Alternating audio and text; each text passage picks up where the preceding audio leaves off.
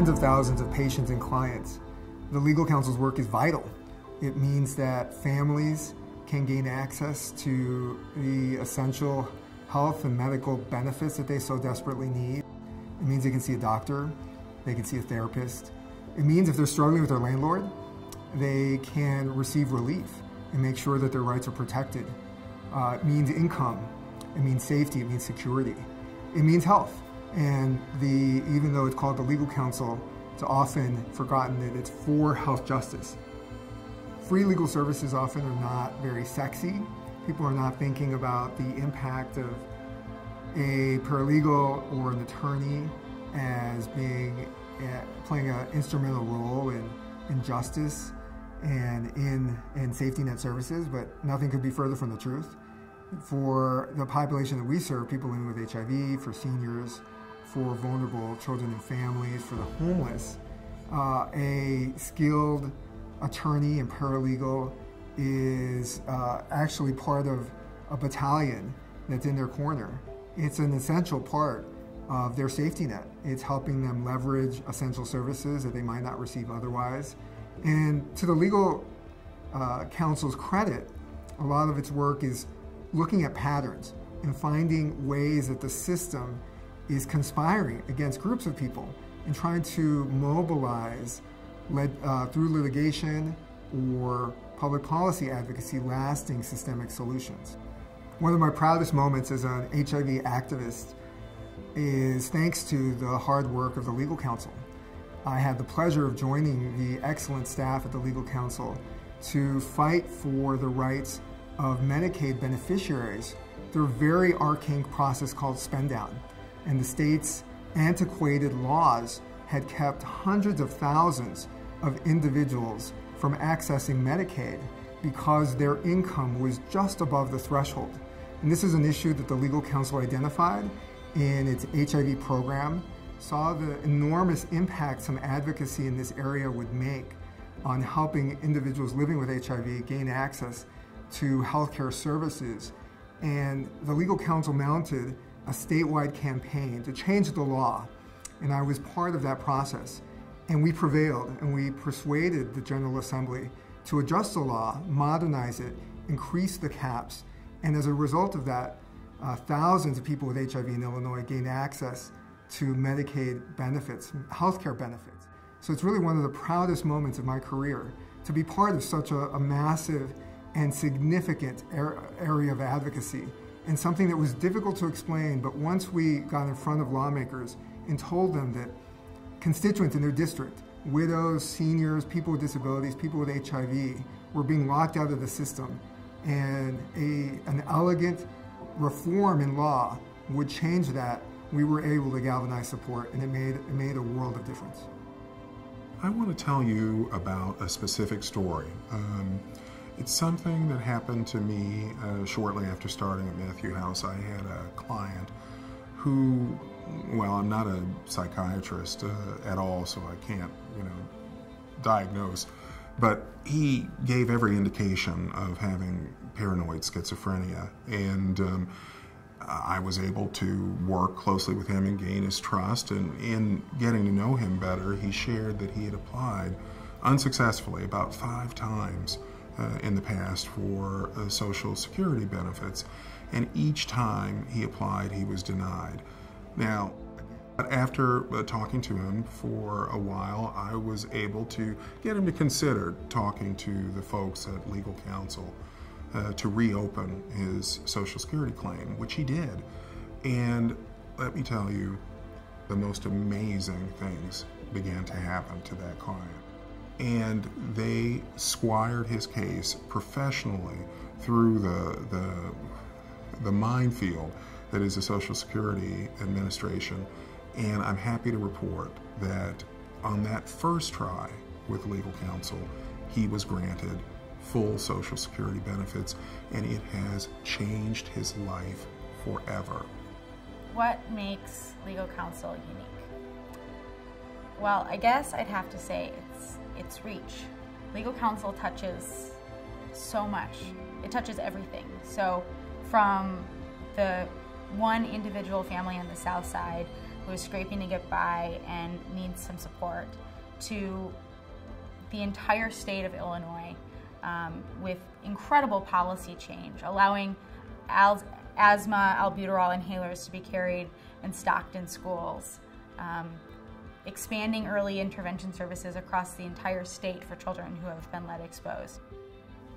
It also is incredible what they do in terms of education and community outreach. I mean, personally, I have received so much education from the legal council in regards to advocating for my patients and um, in teaching me how to be a better pediatrician, how to be a better advocate. My experience with them has shaped my career. It will change the trajectory of my career completely. I know that my my future life would look so different if I hadn't ever met anyone from legal council and hadn't become a part of this incredible organization. In America, um, for marginalized communities, um, we're moving towards a, a space where we are totally affirming of every person from every culture, but historically that has not always been true. But some of my patients in the Englewood community, um, without having legal services there, I've seen uh, patients kind of give up, uh, feel like there is no way out of the situation. And when you're talking about, say, a person that may be living with HIV, that's stigma on top of stigma on top of stigma. And so there are layers. And imagine being that person before you stand up and say, hey, I have a right to be treated as a human. I have a right to social justice. I have a right to legal justice, financial justice, education justice, all these justices that we have, um, that we think about when we say everybody has a right to life, liberty, the pursuit of happiness. We talk about those things, but it hasn't always been true for some of the people I serve in some of the communities in America. Um, before legal council, I've seen them, like I said, just say, hey, this is my life. And that was the reality that they were living in. It sounds horrible that someone's living in that reality. Um, and then with legal council, I've seen myself be able to say, hey, here are services. And you don't have to come, say, downtown, Northside, other places um, that are outside your community to access them. Legal council put the services in the communities we serve, in the communities that need them, um, in a culturally appropriate way, and I'm very thankful for that. I went to legal council because my daughter Gwendolyn, who's now 16, she was having trouble in school. She wasn't going, she missed like almost half the year, more than half the year, and it was due to depression. February of that year, she ended up having to go to court with my older daughter um, because my uncle molested her at the age of two. She outcried and nothing came of it. Uh, my oldest daughter, Kiara, I found out later that it happened to her as well. And they both had to go to court to testify against him. So this took a very, very hard strain on Gwen. And at the time, I didn't know how hard it was on her. So she ended up just basically almost dropping out of school. I'm just so grateful for legal council um, that they came into our lives when they did because they offered opportunities that we had no idea was even available to us. Um, I didn't know that um, the school was obligated obligated to do the things that um, we found out they were supposed to be doing for her. The difference legal council has made in my life is dramatic. Um, I feel proud as a mom. Um, my baby is going to school, and that just feels great. And her GPA came up, and she's smiling, I'm smiling, I'm proud, she's proud, and she will be the first to graduate high school out of all three of my children, but I raised five, so out of all five of them, she'll be the first. It's Legal Council's 30th anniversary. We started 30 years ago, literally in the apartment of James Monroe Smith, an attorney who um, realized that his friends, his colleagues were dying of HIV and AIDS, and there was no one there to help them with the legal issues they had.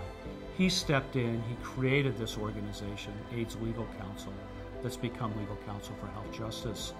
And over the last 30 years, we've continued to grow, we've continued to provide legal services um, to people with HIV and AIDS, and then more recently, we've expanded it to populations with other chronic healthcare conditions, including children, including people with severe mental illness who are homeless, and seniors. Our work has had a broader impact. In fact, three years ago, when the state um, had a budget impasse that lasted for two years, we were able to go to court at that time and ensure that Medicaid payments would continue. That covered health care for 3.2 million Illinoisans. And that continued through the end of the state budget impasse. At the end of the impasse, um, our insistence that Medicaid payments continue was the catalyst to bring the parties together to finally come up with a final budget and end the impasse. It's work like that um, that makes the legal council so important. We've been able to take issues of individual clients and then see that they affect a much broader population and then use the skills that we have to go out and find fixes that not only benefit our clients but benefit thousands, hundreds of thousands, and sometimes millions of other people in the same situation. To me, that's one of the things that makes legal council and our work so special, so critical um, for the future of Illinois and this country. I'd like to begin with my name. My name is Leon Lieberman. And uh, about 16 or 17 years ago, I was diagnosed with HIV. It was a very confusing and even frightening time. The social worker at St. Joseph Hospital, where I had gone for treatment, suggested that I call Ann Fisher, who was then director of the legal council. And she told him, while I was there with him, send him right over, I'll pay his bus fare. And that was my introduction to 16 or 17 years of dependency on them. Everyone who comes to the council, regardless of their reason for coming, knows that immediately there's care and you matter. The council has helped me in many ways. There are times, frankly, when I don't understand why they put up with me. I uh, have a question, it's answered. They're so incredibly knowledgeable, and primarily, they help me to help myself. There isn't anything they won't do to accommodate, whether it's with public aid or housing um, they're incredibly well connected. And there are sometimes when I'm amazed because I think there's a problem that cannot be resolved. Um, and they both resolve it themselves or they equip me to resolve it. What they do has enabled me to be treated, to manage by myself, for myself, and frankly, I don't know how I could possibly do it without knowing that the legal council is on my side. I, uh, I can't tell you really how uh, grateful I am and how much I've been affected by what the legal council does. Everything has changed for the better. My name is David Ernesto Munar, and healthcare justice is social justice. My name is Ben Handy, and I'm proud to be in this struggle to end homelessness. My name is Dr. Nicole Hamp, and my life's mission is to advocate for the health of children. My name is Maya Green, and legal council is a beautiful voice for community wellness. My name is Lynette Campbell Stowers, and legal council saved my daughter's life. My name is Tom Yates, and I'm proud to be fighting for health justice. My name is Leon Lieberman, and legal council has always been there for me.